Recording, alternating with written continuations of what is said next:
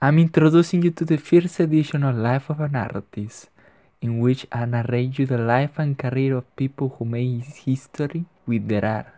Today's episode is about one of the most important graphic designers and artists to emerge in Japan, known for his complex and colorful designs. His work is influenced by Surrealism, American pop art, contemporary Japanese culture, among others.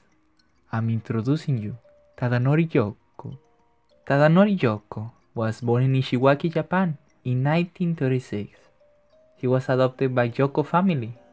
Her adoptive family and father were really old, for which he needed to make money, so he started working straight after high school. First at a printing company, then at a Kobe Shimbun, a Japanese daily newspaper, located an hour away from his hometown. Then he moved to an advertising agency.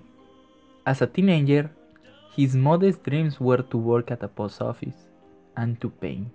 He entered the profession by replicating paintings, designing store wrapping paper, and drawing posters for the Chamber of Commerce in Nishiwaki.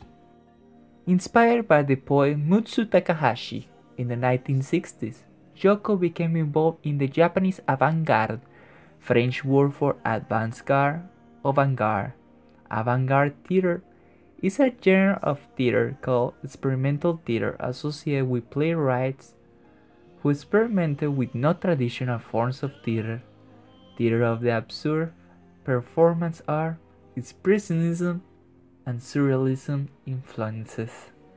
He began his artistic career in the theater in Tokyo designing sets and letter posters that quickly gained recognition for their blend of commercial and fine arts, as they diverge from flat and graphic style and high levels of abstraction. His first notable work, a self-titled poster to the group exhibition Persona in the 1965, attracted attention because it stood out from the contemporary graphic styles at the time. This shocking poster featured a hangman against the blue sky, with red rays emanating from the rising sun. His name appeared at the top. The bottom corners held childhood photographs, and the simple ironic statement, having reached a climax at the age of 29, I was dead. The rising sun motif, considered old-fashioned at the time, recurs throughout his body of work and has become emblematic of Yokoo's style, an international symbol of Japanese pop art. Following this success, Yokoo participated in Brno Biennale, one of the oldest and the most important events in the field of visual communication in the world. He collaborated with recognized Japanese graphic poster designers like Shigeo Fukuda, Kazumasa Nagai, and Ikko Tanaka at the Nippon Design Center in Tokyo. In the 1970s, after an injury in a traffic accident and the harakiri suicide of his close friend Yukio Mishima, harakiri, ceremonial suicide by dismemberment as by slicing open the abdomen with a dagger or knife. He became fearful of death, increasingly fascinated by Indian culture, meditation, Buddhism, UFOs, and extraterrestrial civilization. He began to create collages using the image of the universe and different religious symbolism. Following this trip, his work became influenced by mysticism, resulting in posters with eclectic imagery, sharing the aesthetics of the underground psychedelic magazines of the time.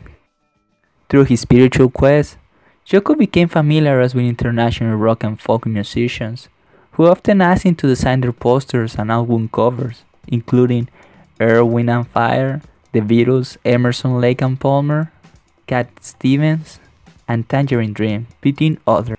Yokoo's posters helped introduce him to the international music industry, most notable record labels in the US and Europe. In these posters, Yokoo shifted from a handcraft illustration influenced style to a more collage oriented approach. Yokoo was especially close to John Lennon and Carlos Santana. His covers for Santana's triple album Lotus was awarded the Special Jury Prize at the 6th Brno Biennale in 1974. By the late 1960s, followed by another one-man exhibition in Amsterdam, He had achieved international recognition for his work and was included in the 1968 Word and Image exhibition at the Museum of Modern Art in New York. He was not only the first living graphic designer to be given a solo exhibition, but also was one of the youngest to receive this honor.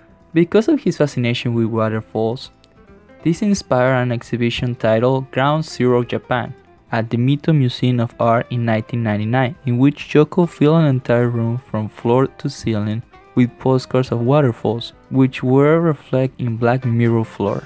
Other exhibitions on the subject include Craze for Waterfalls at the Kirin Art Space Harajuku and Tadanori Yokoo's Magical Makeup Pilgrimage Round exhibition.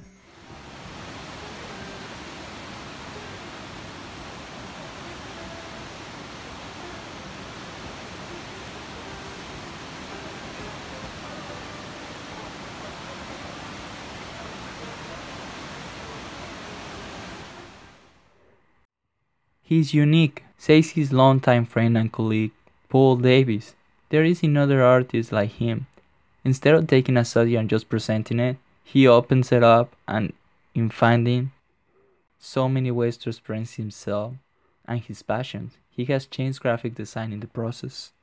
For which, Yokoo's work has crossed the border between design and fine art, being able to break any limitations or rules through his paintings autobiographical and mystical posters, influenced by themes as spiritualism, Japanese aesthetics, the psychedelic posters of the 60s, to mention a few. Tadanori has made a name for himself by creating colorful and vivid designs that will be remembered ever long for the history of graphic design and Japanese pop culture.